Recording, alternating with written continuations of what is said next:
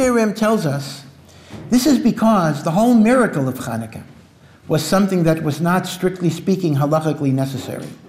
They had plenty of oil, but all the oil was tameh. They only had one jar, of pach katan, of shemen that was tahor.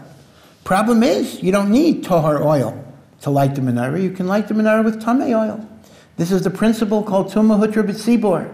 For a communal offering, you can use tumah. The Abishter didn't have to give us a miracle at all. If we wouldn't have had, if the oil wouldn't have lasted, we would have lit with Shemen Tameh.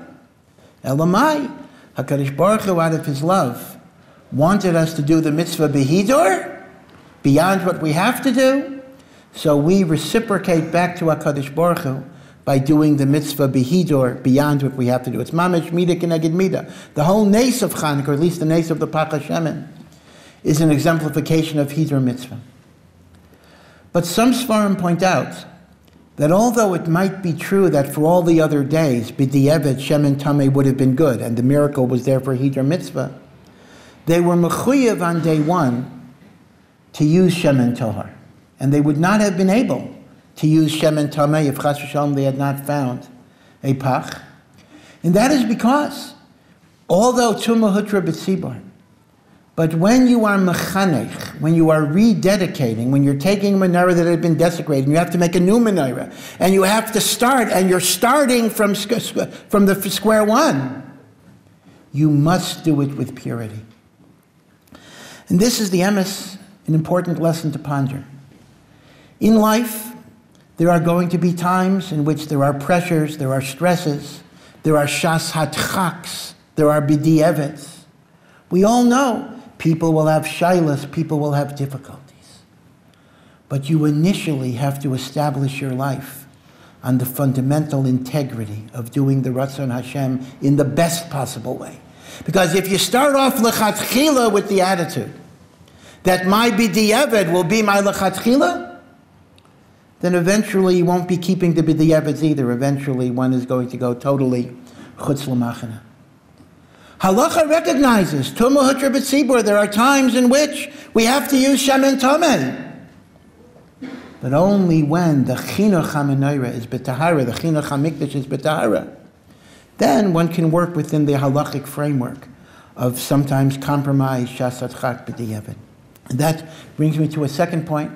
The Gemara in Masechah Shabbos tells us that the ideal for lighting Ner Chanukah is you light it outside of your doorway again. Machlokas if we do that today. Many people do, as, as you see, many people don't.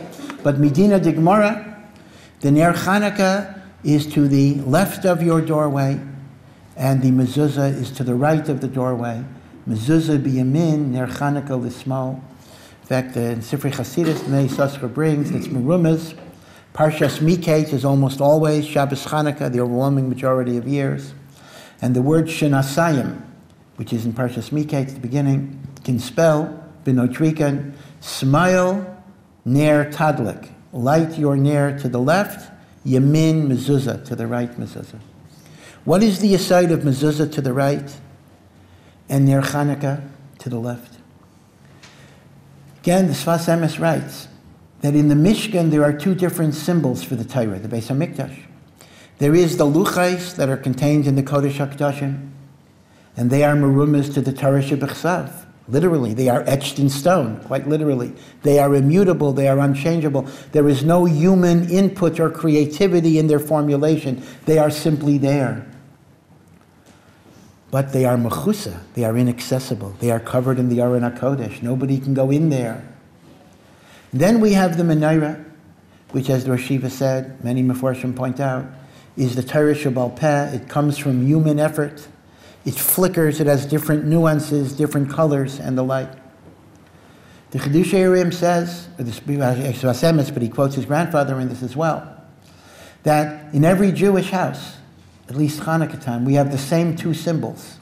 The mezuzah is a miniature Aron Kodesh that has the Torah Shebichsav, the Parshias of the Torah Shebichsav. The menorah is the Torah Shabal Peh. With apologies to the lefties, we normally say that the Yamin is the stronger hand, the small is the left, the weaker hand. The relationship of Torah Shabbal is the following. And again, it's, it's echoing what the Rosh said. Torah Shabbal is filled with creativity, with chiddush, with human input, with our attempt to understand HaKadosh Baruch Hu's Torah and apply it to new situations, new technologies, new crises. The Torah is eternal, but we have to admit the world is ever changing. Life is ever changing.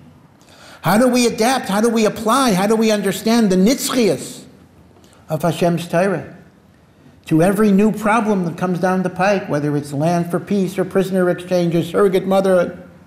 This is the kayach of Torah Shabbal Peh.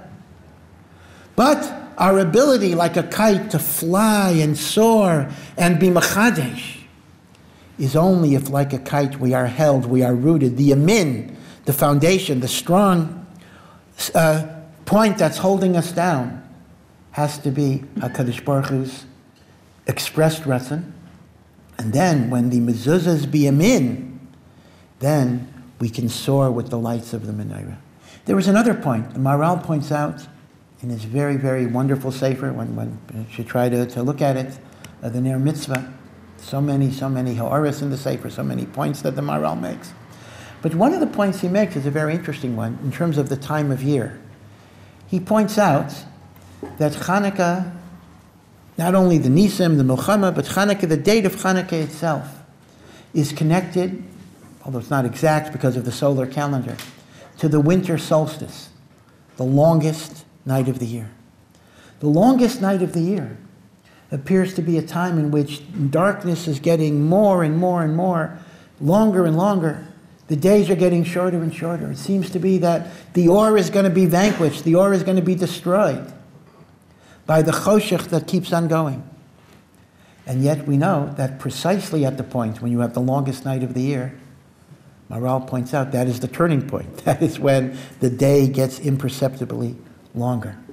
And therefore, Hanukkah, besides the history of the events of the Yeshua, Hanukkah, the Maharal says, is a metaphor and a mashal for the koach of or, to be miskaber over choshech. Of course, Yovan itself is called the gullus of choshech.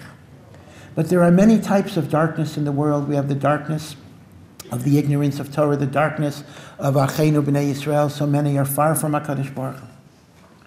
There is the darkness of a person's personal despair. There is the darkness of the tsaras that Am Yisrael faces.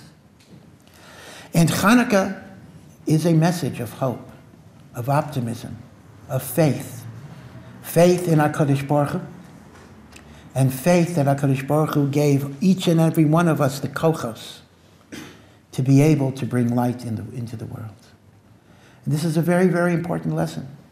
Now, the concept of a yeshiva to bring people who did not have a, an Jewish education or Jewish background when they were younger, all right, this is Pashut. Everybody, everybody does that. But a half a century ago, it was quite a bit of a chiddush.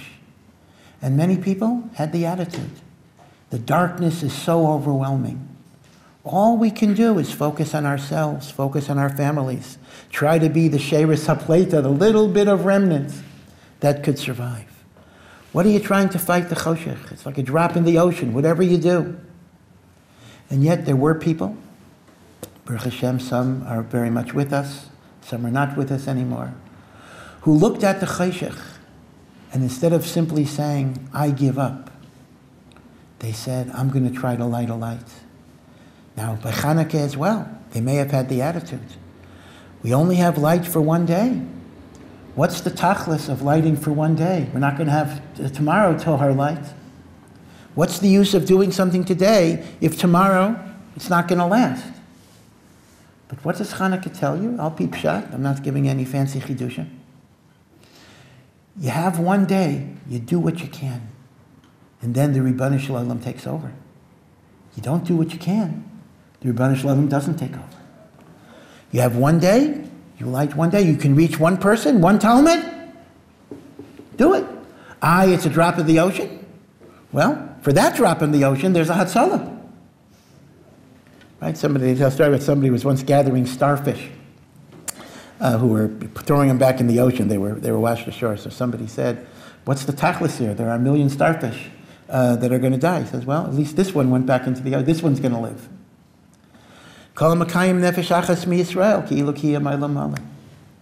And yet we find, like Hanukkah, a person has that amuna, amuna in, in the kayach of Torah, amuna in the light of Torah, amuna in the Ribbanish Shalom, amuna in their kaychas, because a person needs amuna in their kaychas.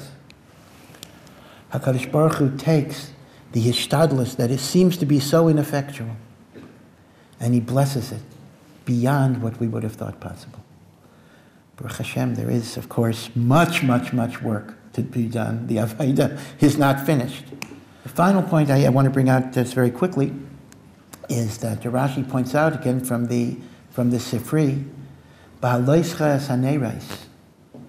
Rashi says again from Chazal that when you light a menorah, when you apply a flame to the candle, the Kohen has to hold it there until there is a heat and a combustion that arises from within the candle itself, meaning as, as the wick gets hot, the heat will eventually set fire from within and come out. Shalheves olam This, I think, may have been Rav Mendel's most fundamental insight and contribution. And that is, in raising someone to Yiddishkeit, it is not enough to simply tell a person what to do, give him an instruction, give him an ArtScroll, give him a translation. Rather, eventually the person should become knowledgeable enough, committed enough, caring enough that there's a shalhevis that comes up within. The goal of all of our chinuch is not to simply take whatever Torah people have and put it on the Talmid, but to enable every Talmid to be a shalheves, ayla mi'elaha, to be a machadesh, to be a person who has self-sufficiency to be a person who can open up a Gemara or a Rishon or a Shulchan Aruch, even without a translation, and to understand it, to enjoy it, to be able to apply it, to be able to bring their own insights and individuality. This too is nichlal in the vision of the menorah, shal heves ola me'elaha. So, Bekitzer, as we think about the Batir of an Adam Gadol, again, it is not a time for crying, although those of us that were Zochet to know do have much to cry about, and those who weren't Zochet to know have what to cry about that they didn't, uh, they weren't Zochet to know. But I think we can learn from the idea that the menorah had to be mechunich b'tahara, that when you set your life's agenda, you set it to live a lechatchila life. Questions come, questions come, but the goal has to be not just to be yaitse in your Yiddishkeit, but to live a lechatchila life. Number two, to be creative, to be innovative, to use the totality of your personality, but to do so when it is rooted in the mezuzah biyamin, the Devar Hashem.